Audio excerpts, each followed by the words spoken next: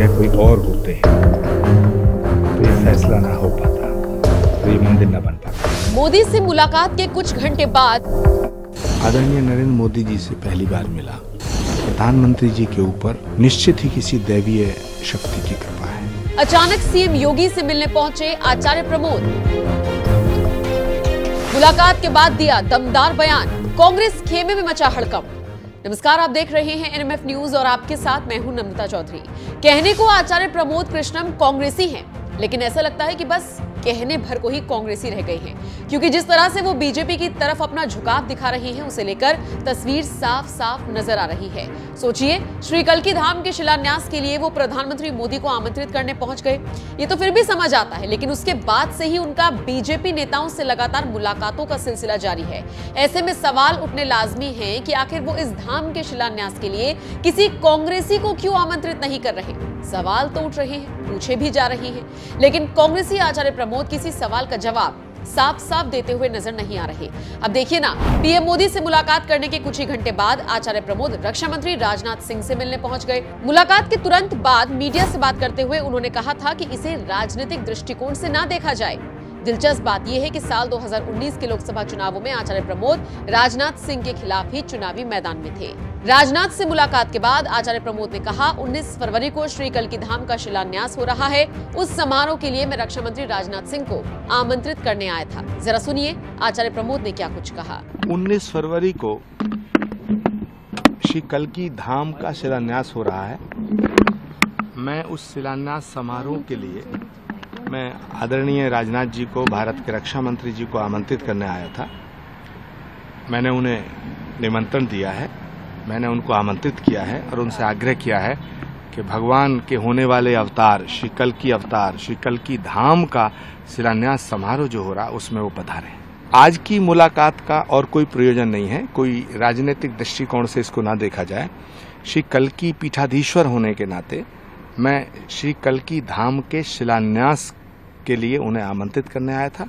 मैं माननीय प्रधानमंत्री जी को भी मैंने आग्रह किया है। उन्होंने आने की स्वीकृति दी है और हम लोग चाहते हैं देश के करोड़ों सनातन धर्म को मानने वाले चाहते हैं कि जिस तरह माननीय प्रधानमंत्री जी ने भगवान राम के मंदिर का काम किया है और उसका भव्य मंदिर बन के तैयार हुआ, उसी तरह श्री कलकी भगवान के धाम का शिलान्यास भी माननीय प्रधानमंत्री जी करें। उन्होंने मेरी प्रार्थना को स्वीकार किया है।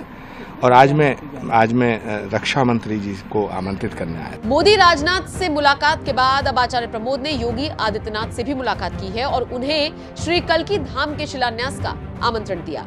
आचार्य प्रमोद ने योगी से मुलाकात के बाद कहा हमें पूरा विश्वास है कि सीएम योगी समारोह में ज़रूर आएँगे। सुनिए आचार्य प्रमोद ने क्या कुछ कहा। देखिए आज मैं उत्तर प्रदेश के माननीय मुख्यमंत्री जी से मिला था। और उन्हें शिकल की धाम के शिलान्यास समारोह का निमंत्रण दिया। और हमें पूरा विश्वास है कि आदरणीय माननीय योगी जी उसमें पधारेंगे। श्री कल की धाम का शिलान्यास 19 फरवरी को हो रहा है और उसी के निमंत्रण देने के लिए मैं आज उत्तर प्रदेश के यशस्वी मुख्यमंत्री आदरणीय माननीय योगी आदित्यनाथ जी से मिला था।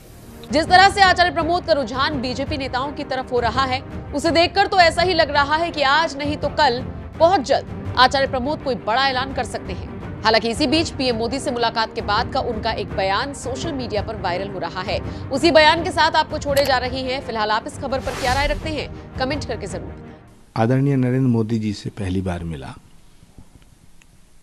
और मुझे ये कहने में कतई संकोच नहीं है कि प्रधानमंत्री जी के ऊपर निश्चित ही किसी दैवीय शक्ति की कृपा है। जो अनुभूति मुझे उनसे मिलकर हुई है, उसके बाद मैं ये कह सकता हूँ कि वो एक दैवीय शक्ति के प्रतीक है। उस एहसास को मैं शब्दों में बयान नहीं कर सकता हूँ। उस एहसास को शब्दों में परिभाषित नहीं किया जा सकता। गुरु जी आपकी पहचान एक कांग्रेसी नेता के तौर पर होती है। किस तरीके से देखते हैं आपको फ़ील्ड पर? मेरी पहचान सनातन के सेवक के रूप में है।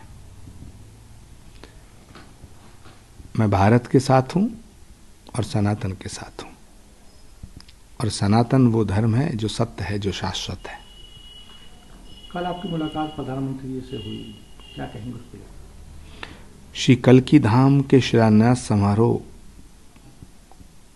का निमंत्रण देने में माननीय प्रधानमंत्री जी को गया था। मुझे खुशी है और मैं उनका आभार व्यक्त करता हूँ कि भारत के यशस्वी प्रधानमंत्री आदरणीय श्री नरेंद्र भाई मोदी जी ने मेरे निमंत्रण को स्वीकार किया। श्री कलकी धाम के करोड़ों भक्त बहुत खुश हैं। सनातन धर्म को मानने वाले करोड़ों लोगों की ये भावना थी कि जिस तरह अयोध्या में श्री राम के मंदिर का काज नरेंद्र मोदी जी के करकमलों द्वारा हुआ है, उसी तरह भगवान के होने वाले अवतार श्री कलकी नारायण भगवान के, श्री कलकी धाम के निर्माण के सभी कार्य प्रधानमंत्री जी के हाथों से किए जाएँ, करवाए जाएँ। करोड़ों भक्तों की भावनाओं का सम्मान करते हुए प्रधानमंत्री जी ने इस निमंत्रण को स्वीकार कर किया है। इसके लिए हम उनके आभारी हैं। हम उन्हें साधुवाद देते हैं। कल एक सोशल मीडिया पर एक वायरल भी हो रहा था कुछ एक पोस्ट टाइप की कि आपको कांग्रेस से बर्खास्त कर दिया गया निकाल दिया गया। ये सवाल तो कांग्रेस से पूछो। लेकिन सर आप इतने पुराने कांग्रेस नेता हैं और इस तरीके की ट्वीट आना उसके बाद फिर उनकी तरफ़ से कोई रिएक्शन ना आना। मुझे इस पर कुछ नहीं कहना है। ये फैसला कांग्रेस को करना है।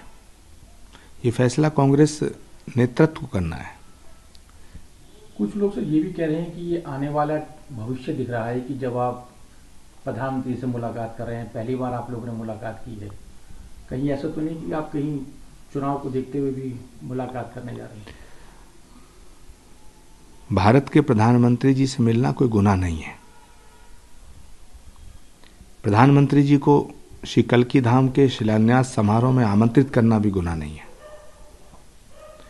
और यदि ये गुनाह है तो मैं इस गुनाह की सजा भुगतने के लिए तैयार हूँ। राहुल गांधी जी की यात्रा भी चल रही है। वहाँ से भी पश्चिम बंगाल में गठबंधन अभी साफ़ नहीं दिख रहा है। तो किस तरीके से देखते हैं इसको आपकी आने वाले चुनाव में गठबंधन किस तरीके से काम करेगा चुनाव में मैं आज इस पवित्र मौके पर जहाँ हम सब लोग बड़े प्रसन्न हैं कि श्री कलकी धाम के मंदिर का शिलान्यास हो रहा है। माननीय प्रधानमंत्री जी ने हमारा निमंत्रण स्वीकार किया है। इतनी अच्छी अच्छी बातें, इतने अच्छे अच्छे पलों में किसी भी इस तरह की घटिया बात पर मैं चर्चा नहीं करना चाहता।